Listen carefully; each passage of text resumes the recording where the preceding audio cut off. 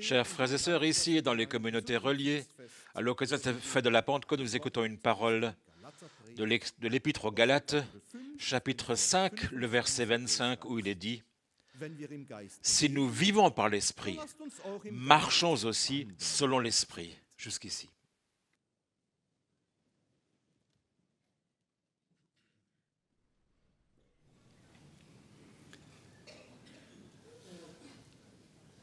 Chers frères et sœurs, comme toute fête religieuse, la Pentecôte est d'abord une fête de la reconnaissance, de l'action de grâce. L'occasion pour les croyants de se rassembler pour remercier pour quelque chose de tout à fait particulier,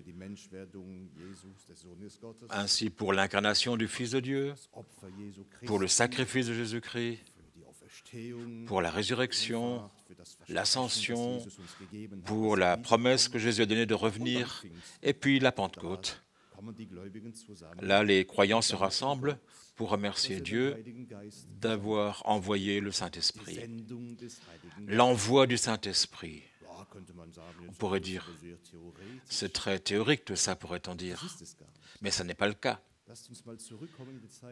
Revenons à l'époque des disciples.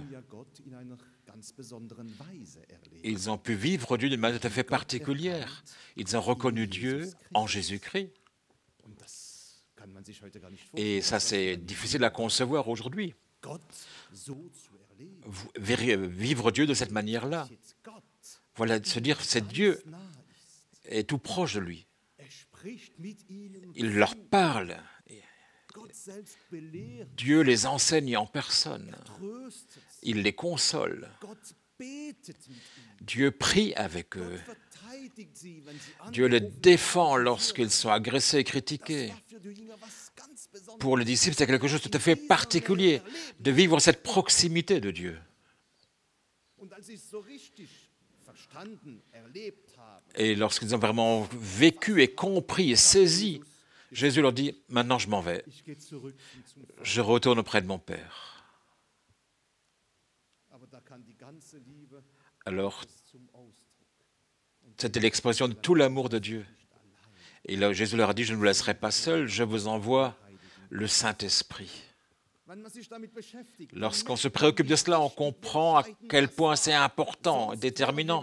Sinon, nous serions retournés aux temps anciens où Dieu habite dans le ciel très très loin de nous. Mais parce que Dieu a envoyé le Saint-Esprit ici-bas, nous pouvons à travers lui vivre la proximité de Dieu et là en faire l'expérience. Dieu nous parle, il nous console, il nous défend, il nous aide à travers le Saint-Esprit. Je pense bien que c'est là un sujet de reconnaissance. La Pentecôte est aussi le jour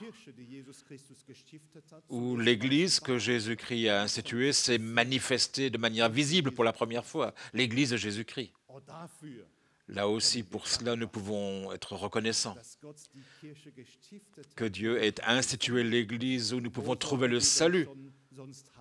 Où d'autres pourrions trouver le, le salut, sinon dans l'Église que le Seigneur a institué pour transmettre, pour communiquer le salut. Nous serions les plus pauvres, les plus misérables des misérables si Jésus-Christ n'avait pas institué l'Église. Où irions-nous chercher le salut? C'est seulement possible à travers l'Église de Jésus-Christ. L'Église de Jésus-Christ est aussi la communion des croyants. Est-ce que tu peux imaginer, mon frère et sœur, comment ce serait si tu étais tout seul ici, un, combattant isolé, tout seul dans ton coin? Que serions-nous alors sans cette communion des croyants? Que serions-nous sans la communion dans nos rangs, dans la, la, communion des enfants de Dieu, cette merveilleuse communion que nous vivons sans cesse. Cela vaut bien une reconnaissance, n'est-ce pas? Nous remercions Dieu de nous avoir envoyé son esprit. Nous le remercions Dieu de nous avoir donné l'Église de Jésus-Christ, la communion des saints. Chers frères et sœurs, Dans le monde actuel, beaucoup de gens ont leur propre opinion et c'est très bien comme ça. Et chacun s'efforce que son environnement sache ce qu'il pense. Je viens d'un pays où c'est connu, où on aime bien on manifeste, on va dans les rues, on montre au gouvernement et au monde entier tout ce qu'on veut et comment on voit les choses. C'est typiquement français. Mais entre-temps, d'autres pays nous ont rejoints là-dedans. Vous connaissez mon amour immodéré pour Internet. Ce haut-parleur pour tous ces gens qui ont l'impression d'avoir dire quelque chose, d'avoir quelque chose à dire, etc. etc. D'autre côté, on, déplore que Jésus-Christ perde de sa valeur, que la foi ne soit plus en, que la foi recule. Pour nous, nous voulons là aussi placer, donner un signal. il, importe pour nous que dans notre société, les valeurs chrétiennes ne se perdent pas.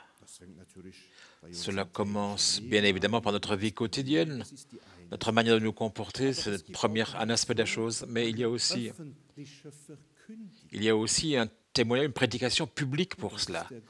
Et ça, la fréquentation du service divin, et particulièrement la célébration de la Sainte Seine là où l'Assemblée, où les croyants se donnent la peine, font l'effort d'être rassemblés pour fêter ensemble la Sainte Seine,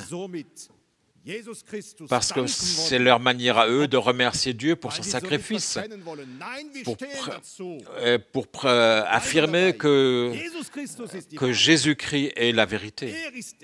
C'est lui qui est le chemin. C'est lui qui est notre sauveur. C'est lui qui est notre solution. Ce ne serait pas bon si cet aspect de la célébration de la Sainte Seine allait se perdre. Aussi souvent que vous en prendrez, vous annoncez la mort du Seigneur jusqu'à ce qu'il revienne. Si un croyant reste chez lui et ne fête pas la Sainte Seine, alors cela fait un témoin de moins pour Jésus-Christ. Une voix se tait qui pourrait dire, moi aussi je crois en Jésus-Christ. Moi aussi, je dis que Dieu est la vérité en Jésus-Christ. Dans un monde où tant de gens, où tant de gens produisent d'efforts pour faire connaître leur avis, c'est le chemin tracé par Jésus-Christ lui-même. Si vraiment tu veux proclamer ta foi, que Jésus-Christ est ton Dieu, ta vérité, ton chemin vers la rédemption, alors Faites-on la Sainte Seine. Je ne plaide pas pour que, pour que le la fréquentation de service divin ne soit pas en recul. C'est, c'est vraiment pas ce que je veux. Il y va simplement pour moi de la vision du Saint-Esprit. Frères et sœurs, ne nous relâchons pas là-dedans. Nous voulons montrer ce en quoi nous croyons. Et ça, c'est ce qui est important pour nous.